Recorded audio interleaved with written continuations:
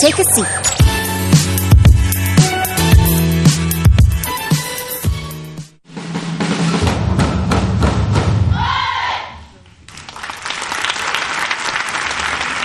Penny will moderate the next session and also introduce the panelists as well. I will start this time round, not the traditional way, because social entrepreneurs are about doing things a little bit differently. So instead of ladies first, we then start with gentlemen first. So I'll start with the gentleman on my extreme left hand side, and that is Mr. Zainal Abidin. Mr. Zainal Abidin, I will, I will start with very quick introductions so that you would have a chance to also talk to them and get to know them a little bit better. So Mr. Zainal Abidin is of course the Senior Minister of State for the Ministry of Foreign Affairs. He's also uh, Mayor of the Northeast Community Development Council District. And on top of that, he's also a very good friend, very gentle. He leads many groups in Singapore um, and is very well respected as a senior within the Singapore Parliament itself. Next to him is none other than Mr. Jet Li. I don't know how to introduce this man because he keeps changing and transforming himself each time stronger, better than the last time, and the last time was only 24 seconds ago.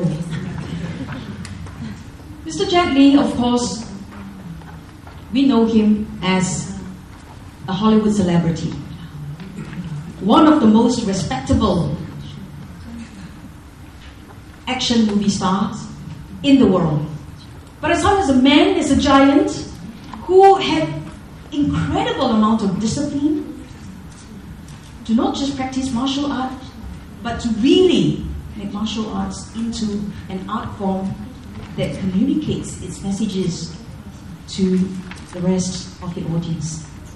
In getting to know him, from that of being uh, a Shaolin Kung Fu star to that of a Hollywood celebrity and to now a philanthropist. And really, he's not just a philanthropist, I see him really as a social do gooder. To now, I recognize that I was wrong all this while. He was really a thought and action leader. That, ladies and gentlemen, I introduce Jackie to you. Lady next to me, I think, really needs no introduction because she has been with us at the Social Innovators Forum since 2006 when we first began. She has moderated sessions here. She has, you know, so many seats of social entrepreneurs in Singapore. She first came and got to know her as the director of the Schwab Foundation for Social Entrepreneurs, which, as you know, we are we have a joint project with them to search for the Social Entrepreneur of the Year award in Singapore. And again, social entrepreneurs, at least those who are enriched with that spirit, doesn't quite stop there. And they go on to transform themselves and keeps getting better and better.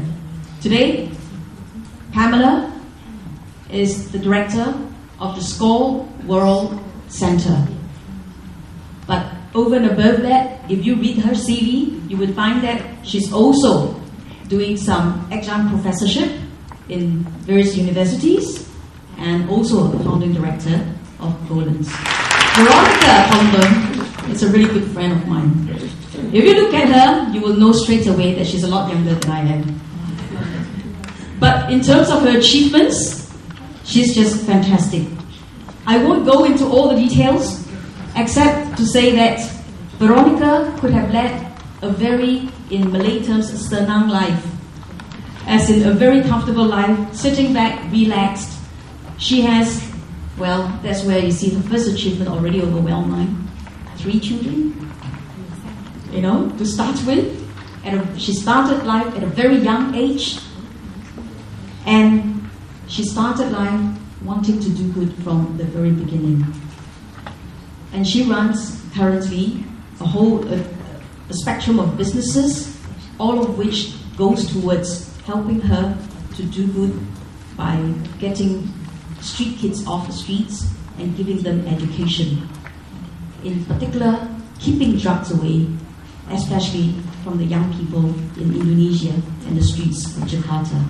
And she is also an award winning social entrepreneur, which you read all about um, in the CV itself. And I think she also was the youngest recipient of a UN prize. Uh, just was it last year? Uh, in 2001, I wasn't even born yet. So there you have Veronica Colondam. So, ladies and gentlemen, we wanted to start the plenaries shaping our discussion somewhat uh, for the entire two to three days forum. And the first thing that um, came to mind when we did that was to go around to ask people, you know, what they know about social innovation or social entrepreneurship, what were some of the issues that matters to them.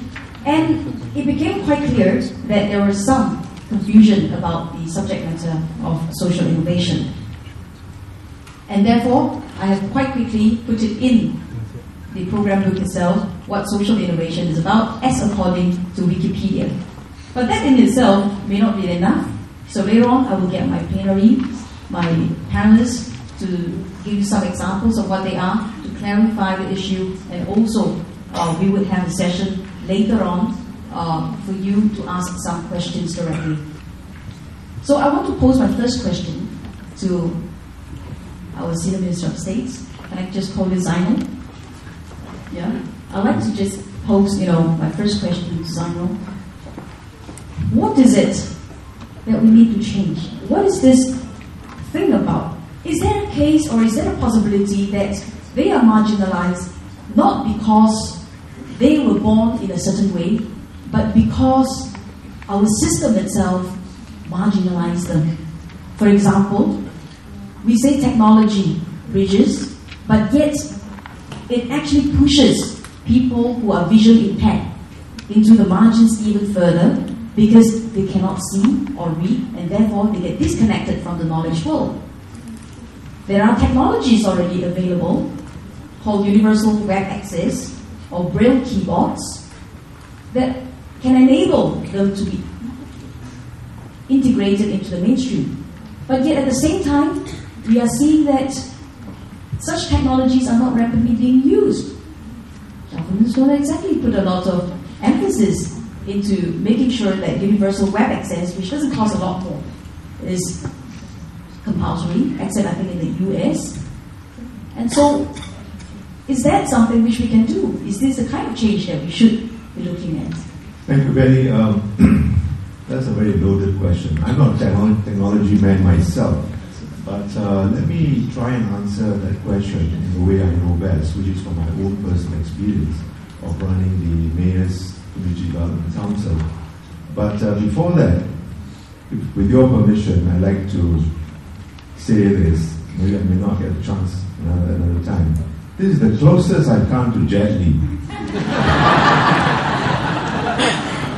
I I was thinking of asking Penny whether I need a kind of a kung fu shield in between. Uh, but knowing I'm sure where, you want to be integrated with your brother than to have a shield. and knowing where he comes from in terms of one foundation, in fact, it is about inclusivity. I think you're right, Penny, in the sense that we are talking about how do we go about being more inclusive.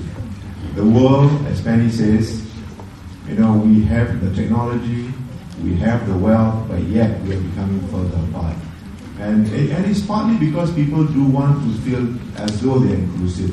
And again, if I may take this opportunity with what's happened in Mumbai, I think we all will agree with me when we say that we are all united as one. One foundation, one people against terrorism. I think we abhor what happened in Mumbai, and we all agree to that. Do we? You know, um, I've really been inspired by what Jet Li is doing in terms of his One One Foundation and what he went through in terms of tsunami. And uh, well, that happened in 2004.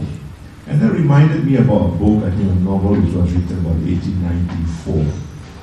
And I'm beginning to wonder whether there's something in that number four.